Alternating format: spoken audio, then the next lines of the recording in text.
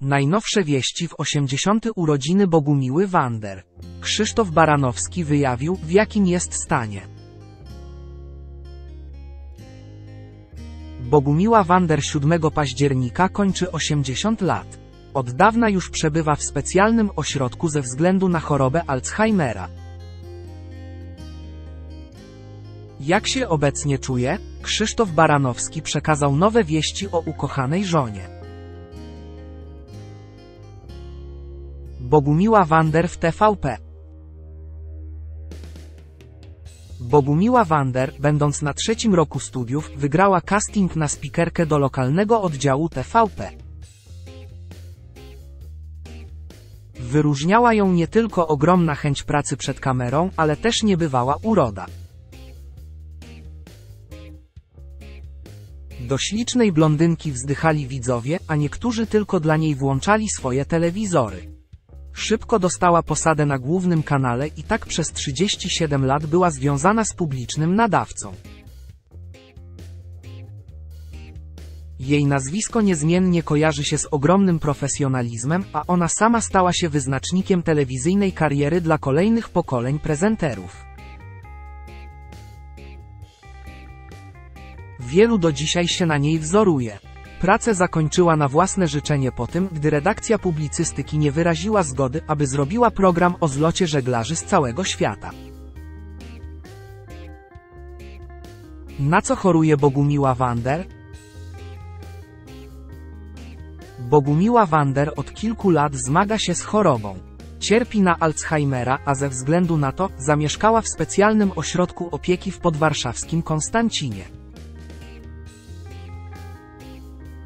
Jej mąż Krzysztof Baranowski zadbał o to, aby była pod stałą opieką specjalistów. Jak mówił w jednym z wywiadów, stracił już jednak nadzieję, że jego ukochana żona będzie w stanie opuścić kiedyś ośrodek. Teraz z okazji jej 80. urodzin przekazał, jak obecnie czuje się legendarna prezenterka telewizji polskiej.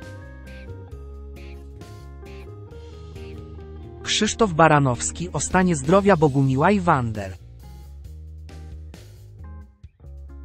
Krzysztof Baranowski jest marynarzem i nadal pływa po całym świecie. Każdą wolną chwilę spędza jednak ze swoją żoną.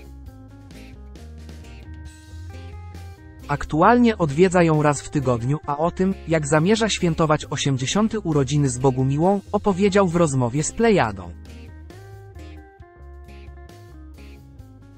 Okazuje się, że nie planuje kupować jej kwiatów, a prezentem będzie pocałunek. To byłby pusty gest. Żona nie kojarzy kwiatów, bardziej kojarzy pocałunek.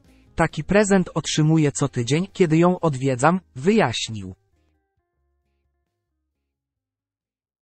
W dalszej części rozmowy przekazał też, jak obecnie zachowuje się jego żona. Niestety nie są to dobre wieści. Może dlatego, że często bywam u Bogusi, nie zauważam postępu choroby. Dopytuję pielęgniarki, które potwierdzają, że żona jest w dobrej formie fizycznej, co się wyraża apetytem. Bogusia żyje już w innym świecie. Nie wiem, czy mnie rozpoznaje, ale gdy mnie widzi, uśmiecha się, dodał. Na szczęście była gwiazda TVP fizycznie czuje się dobrze i nie cierpi na żadne inne dolegliwości.